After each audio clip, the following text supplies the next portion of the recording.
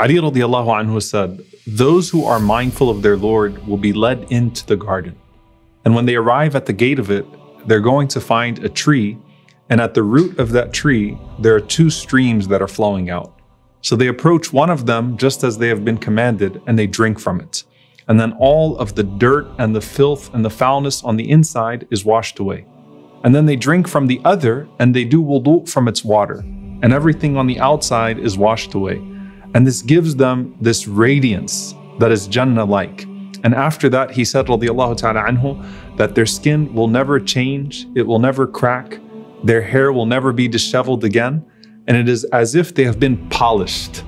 Then they reach the keepers of paradise who will say to them, Salamun alaykum tibtum fadkhuluha khalidin. Peace be unto you, you have become purified, enter it now and abide therein forever.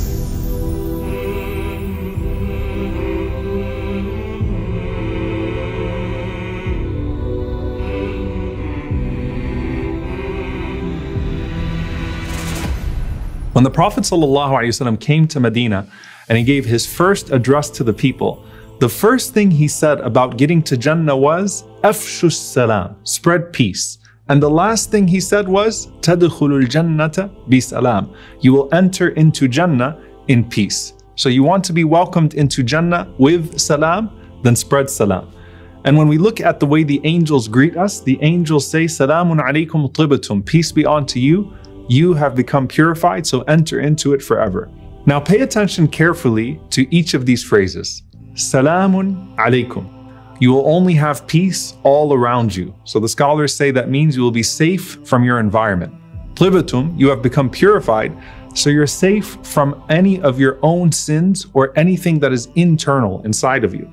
فَدْخُلُوهَا خَالِدِينَ So enter it forever you are safe from the eternal, meaning you're safe from time, you're safe from expiration, you're safe from any enemy, you're safe from ever being expelled from Al Jannah.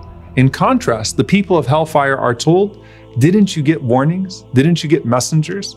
Didn't you get signs? And the punishment is only increased by the pain of them knowing that they had so many chances to respond to the call of Dar es Salam, the place of peace and hellfire only gets worse. The scholars say pay attention to how Allah subhanahu wa ta'ala says, Udkhulu abwaba jahannam, enter through the gates of hellfire.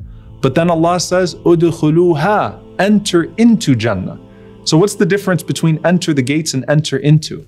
As for enter the gates, when the people of hellfire enter the gates, the gates shut behind them, and it only gets worse inside. إنها عليهم muqsada, في عمد ممددة. It will be shut on them and sealed tight, and there are extended columns behind them. And these are columns that will be holding the gates from behind like a huge stone which is placed behind the gate. May Allah subhanahu wa ta'ala protect us from that fate. Allahumma ameen.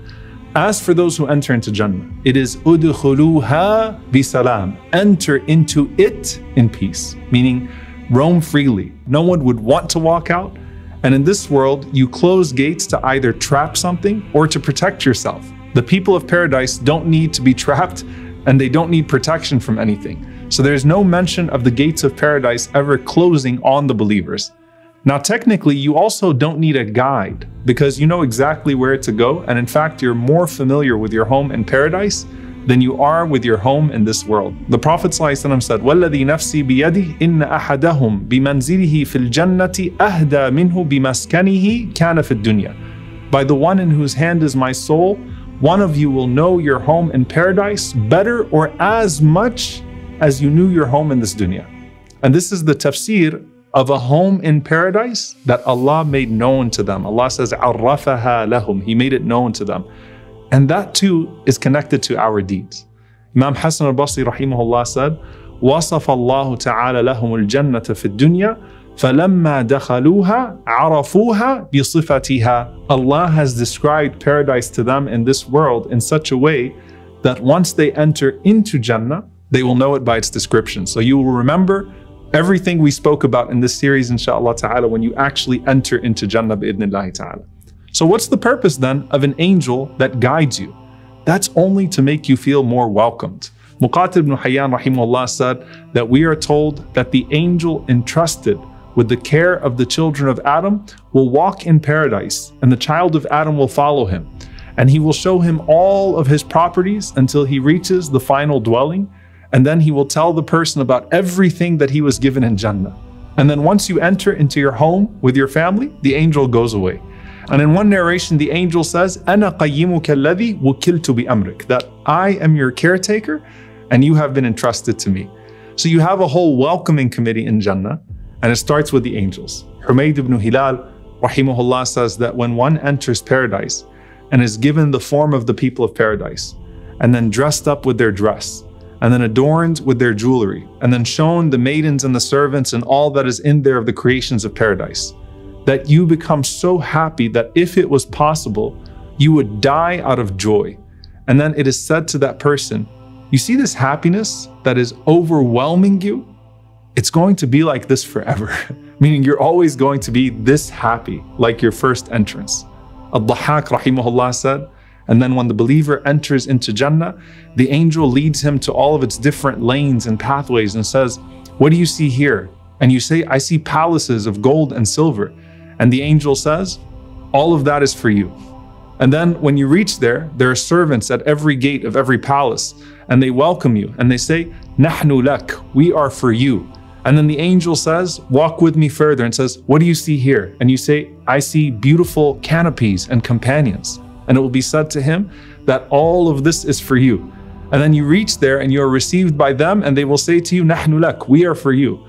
And Abu Abdurrahman al-Jubari says, and then when the believer enters heaven first, he is received by 70,000 servants as if they are shiny pearls. Two rows of those servants are arranged on both sides, neither one of them seeing the other. And anytime you walk, they follow you, they walk with you. And the spouses of paradise welcome each other by saying what? Anta hibbi. You are my love and I am your love. And that's all of the other welcomings. But what about the greatest welcomer of all? Allah subhanahu wa ta'ala. Rasulullah said that Allah will say to the people of paradise, Ya Ahl al Jannah, O people of paradise. And the people of paradise will say, Labbaika wa sa'daik. Here we are, O Allah, here we come. What is it, O Allah? And these people are the same people that used to say, Labbaik Allah in this life. Here we come, O Allah, here we come. And now they're saying it in Jannah. What is it, O Allah? We're ready. And Allah says, Hal raditum, are you pleased? And they say, How could we not be pleased when you've given us everything that we could possibly want and things that you've not given to anyone else of your creation? And Allah says, I'm going to give you something that's better than all of that. And they say, Ya Rab, our Lord, what is better than that? And Allah subhanahu wa ta'ala says, أُحِلُّ عَلَيْكُمْ رِضْوَانِي فَلَا أَسْخَطُ عَلَيْكُمْ بَعْدَهُ أَبَدًا That I am pleased with you forever and I will never be angry with you again. Now, subhanAllah, that shows how in this beautiful abode of Allah's pleasure, if He wasn't pleased with us, He wouldn't have given us all of these palaces in paradise. But here He is saying, This is me being pleased with you forever. And that's the greatest welcome. And as you enter your home in paradise, there's a logic to each one of these palaces and each of these homes. And they're not all of the same genre. So no one feels like they have a smaller home or they live in a worse neighborhood in Jannah. But the most special homes in paradise are for those who responded to severe trials with exemplary patience. So this genre of homes is not because of specific deeds, which we're going to talk about later, but this is about that quality of people who just wanted Allah's pleasure no matter what. So when Asya alayhi salam says, My Lord, Rabbibni li indaka baytan fil Jannah. My Lord, build for me with you a palace in Jannah. She said that as she was sacrificing her home and her comfort in this life, all for Allah's pleasure. And Allah subhanahu wa ta'ala gave salam to Khadija radiallahu anha through Jibreel alayhi salam. And he gave her the bushra, the glad tidings of a palace in Jannah of special pearls with no noise or fatigue. Because she gave that type of a home and comfort up in this life, all for Allah's pleasure. And when someone loses a child and still praises Allah subhanahu wa ta'ala through that pain, Allah says, Build for my servant a house of praise because he lost what made his home praiseworthy in this life. So he deserves a home of praise in paradise. All that person wanted was salam from Allah and the reward of Allah. And now that person has it. So Ibn al-Qayyim rahimahullah gives us the scene. He said, A person enters into their palace in paradise and they know their place, and then you're met with your family who are full of joy and receiving you. And this is even more so than when family come together and rejoice in this life after a loved one has been away for a long time. And then he hears the greetings of all of the new companions of paradise. And then he goes and he reclines on his bed and he looks at the foundation and he notices that even the bed has been erected on beautiful pearls. And he sees green and red and yellow pats and drapes. And he raises his head to the roof of his house. And had he not been created for it, he would have lost his vision. And he says as he's looking around, Alhamdulillah alladhi hadana lihada wa ma kunna linahtadiya lawla an hadana Allah. All praises be to Allah who guided us to this. We would have never been able to get this had Allah subhanahu wa ta'ala not guided us. يا ايتها النفس المطمئنه ارجعي إلى ربك راضية مرضية.